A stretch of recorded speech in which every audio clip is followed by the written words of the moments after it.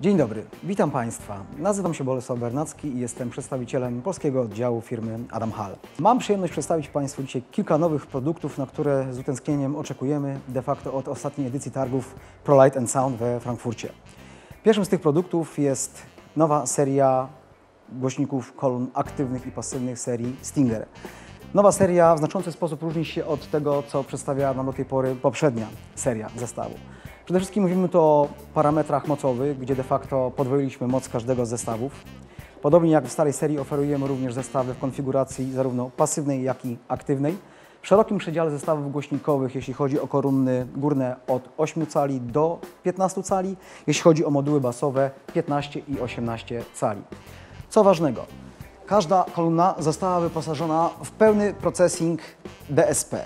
To jest coś, czego stara seria nie była w stanie Państwu zaoferować. Mamy tutaj cztery gotowe ustawienia fabryczne, dzięki którym są Państwo w bardzo prosty sposób w stanie skonfigurować swój zestaw i dopasować go do potrzeb danego miejsca, sceny, imprezy. E, DSP pozwala nam również na uzyskanie optymalnych parametrów dźwiękowych z każdego zestawu, włączając nawet opcję ustawiania modułów subbasowych w systemie kardioidalnym.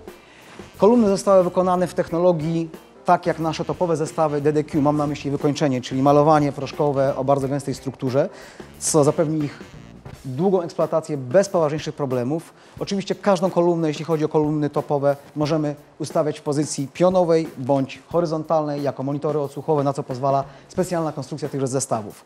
Oprócz typowych rączek pozwalających nam na przemieszczanie się z zestawami, y, każdy Stinger posiada możliwość zainstalowania przyłączy instalacyjnych, czyli możemy używać tych zestawów zarówno na scenie, jak i w instalacjach stałych, w klubach, teatrach, tudzież innych podobnych zastosowaniach.